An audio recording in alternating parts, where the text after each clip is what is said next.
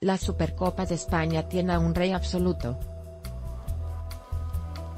Barcelona venció 2-1 a Sevilla para convertirse en el dominador del fútbol español al ser campeón en la Liga, Copa del Rey y esta tarde del torneo previo al inicio de la temporada 2018-2019. Con goles de Gerard Piqué y Ousmane Dembélé, la escuadra blaugrana le dio la voltereta a los sevillanos que habían iniciado el partido con una ventaja gracias a la intervención del VAR. En un territorio neutral, la ciudad de Marruecos, y un título peleado a un solo partido decisión por la que el Sevilla mostró su descontento ante la Real Federación Española de Fútbol, Barça logró el triunfo para marcar un inicio del campeonato positivo. Pese a ir en desventaja, el conjunto campeón de la liga pudo reponerse e incluso en el último minuto, Marc-André Ter Stegen supo mantener la ventaja cuando Wissam Ben cobró un penal a favor de los subcampeones de la Copa del Rey, pero la acción fue pésima y el arquero se quedó con el balón.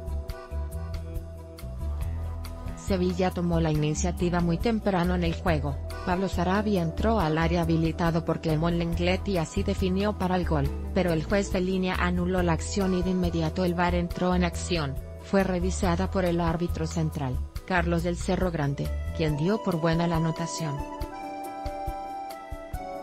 Antes de que el primer tiempo finalizara, Piqué aprovechó un rebote de la pelota en el poste izquierdo de Tomás Baklik producto de un tiro libre de Lionel Messi.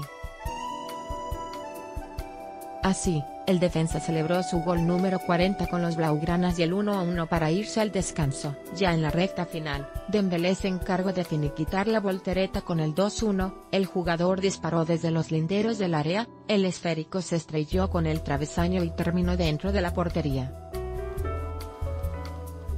La falla de la pena máxima de Ben Yedder fue la última oportunidad de los sevillanos que vieron el reloj marcar el fin del juego y con ello la coronación blaugrana.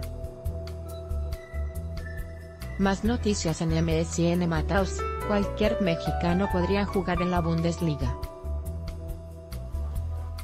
Video de medio tiempo Haz clic para ver el video completo Volver a reproducir video. Siguiente Leighton reconoce que Atlas aún no ha librado el descenso. Los rojinegros se encuentran 13 puntos arriba de Veracruz, último lugar en la tabla de cocientes, medio tiempo de Tultitlán Andorra, la historia de Alan Peniche su sueño de jugar en Europa llegó de sorpresa.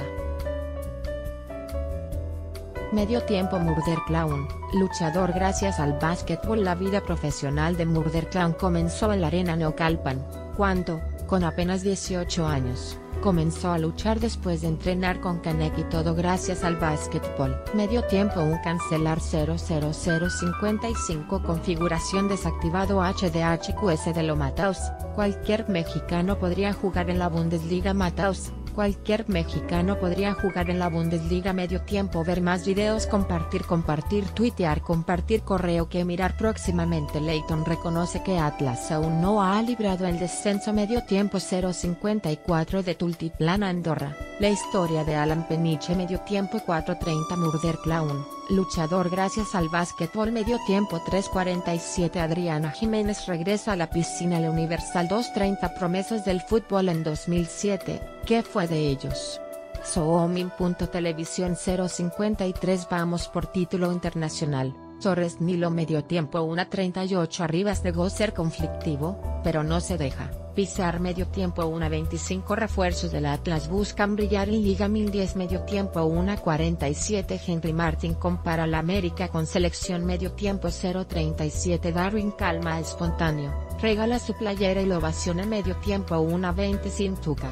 El campeón regresó a los entrenamientos medio tiempo 054 6 futbolistas que truncaron su carrera por las drogas Televisión 053 La mexicana que le dio una medalla a Canadá medio tiempo 247 me dijeron que la lucha extrema que era una tontería. Pagano medio tiempo 357 Harry Kane supera a Messi como máximo goleador de Europa expansión 1-3 en ambos torneos vamos a llegar a finales, Henry Martín El Universal 055 siguiente.